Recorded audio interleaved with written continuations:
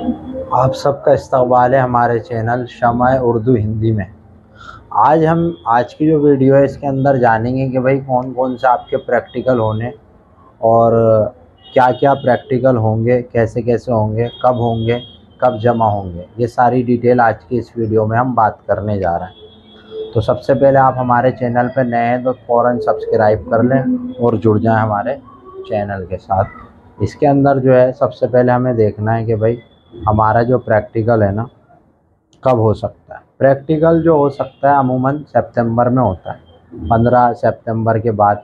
लेकिन ऑफिशियली तो कोई मैसेज नहीं है कि भाई पंद्रह सितंबर तक ही हो, है ना? आगे पीछे थोड़ा बहुत हो सकता है, लेकिन नेक्स्ट मंथ आपका है और आप इसकी जो है तैयारी करते रहें। अगले महीने से शुरू हो जाएगा। डेट शीट देखिए डेट शीट भी आ जाएगी।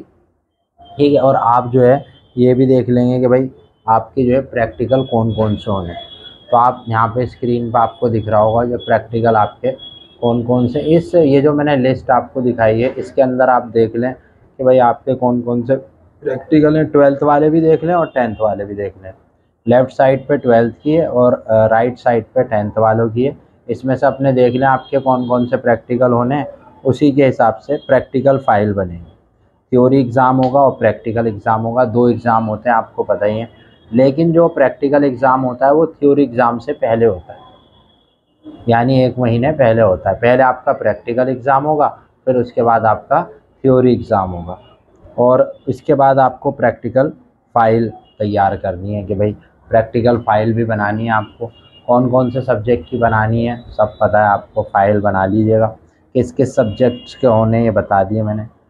प्रैक्टिकल फ़ाइल का कवर पेज कवर पेज ज़रूर बना लीजिएगा। कवर पेज में सबसे पहले आप अपना नाम लिख दीजिए इनरोलमेंट नंबर लिख दीजिए और सब्जेक्ट लिख दीजिए सब्जेक्ट कोड लिख दीजिए एड्रेस लिख दीजिए और फ़ोन नंबर लिख दीजिए। कवर पेज से पता लग जाता है कि भाई ये इस बंदे की फ़ाइल है और सब्जेक्ट का नाम लिख दीजिएगा और मीडियम लिख दीजिएगा कि भाई उर्दू मीडियम में बनाया हिंदी मीडियम में बनाया इंग्लिश मीडियम में बनाया या जो भी आपका मीडियम और एक बात और प्रैक्टिकल का कवर पेज बनाने के बाद है होल टिकट होल टिकट कब आएगा? जैसे आपके एग्ज़ाम का होल टिकट होता है, ऐसी प्रैक्टिकल का भी होल टिकट होता है। ये अमूमन जो है प्रैक्टिकल से एक मही, एक हफ़्ता पहले आता है।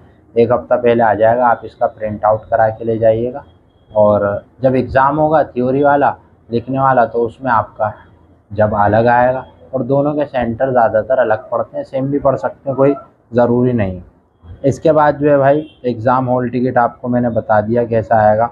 इसके बाद प्रैक्टिकल का हॉल टिकट जब आप प्रैक्टिकल का हॉल टिकट आ जाए कि भाई आपका जो एग्ज़ाम है, अक्सर बच्चे इसमें परेशान होते हैं कि भाई प्रैक्टिकल का तो हॉल टिकट आ गया, लेकिन इसमें तो डेट लिखी हुई है, मान लो पंद्रह सितंबर से अट्ठारह सितंबर।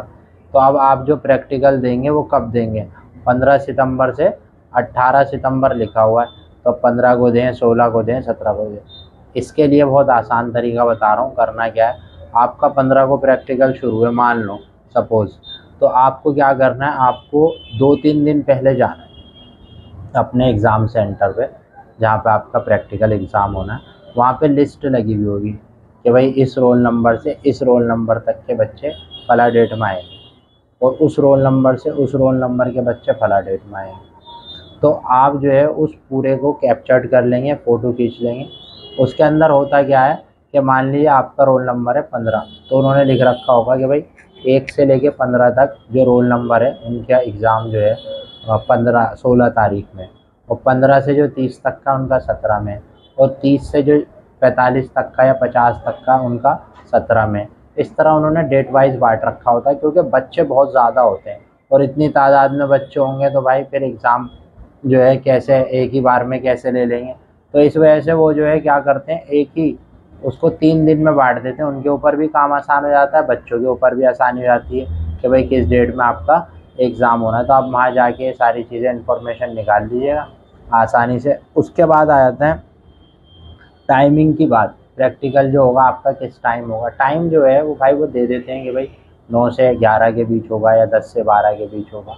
तो आप जो है हमेशा बिल्कुल ये नहीं कि दस ही बजे पहुँचे या नौ ही बजे पहुँचे। टाइम से हमेशा एक आध घंटा पहले पहुँचिएगा अपने और आराम से वहाँ पे जाके जो है लड़के भी होंगे और बच्चे भी देने आएँगे उनसे भी आपको थोड़ी हेल्प मिल जाएगी जिन्होंने दे दिया। हमें क्या पूछा है, क्या पूछा उससे आपको हेल्प मिल जाएगी। आसानी से आप पूछ लिएगा कि भाई, इसमें आ क्या रहा है और क्या क्या हमें तैयारी करनी है।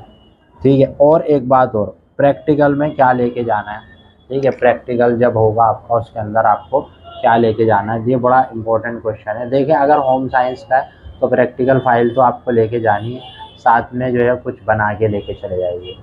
फ़र्स्ट एड बॉक्स लेके चले जाइए। पेंटिंग का तो पेंटिंग के कलर लेके चले जाइए। ये सारी चीज़ें आपको लेके जानी होती हैं। अलग अलग सब्जेक्ट में अलग अलग चीज़ें लेके जानी होती हैं। अब इसके बाद है प्रैक्टिकल में जो है आप क्या क्या लेके जाएँगे? डॉक्यूमेंट्स क्या क्या होंगे?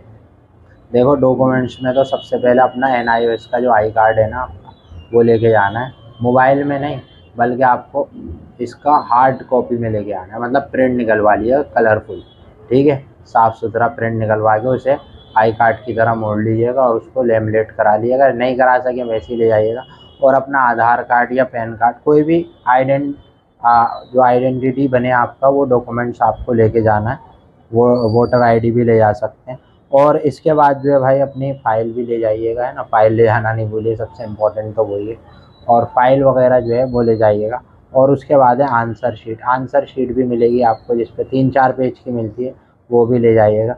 और हाँ एक इंपॉर्टेंट बात अटेंडेंस लिस्ट अटेंडेंस जब होगी ना तो वहाँ अपना अटेंडेंस ज़रूर लगवा दिएगा अगर आपने अटेंडेंस नहीं लगवाई तो आप एबसेंट हो गए तो बस भाई आप तो गए, और आपका जो है वहाँ पे वो लिखा जाएगा कि बच्चा जो है एबसेंट हो गया, और आप तो गए थे, लेकिन वहाँ लिखा हुआ आ रहा है एबसेंट तो आप गए एबसेंट हैं तो। ठीक है?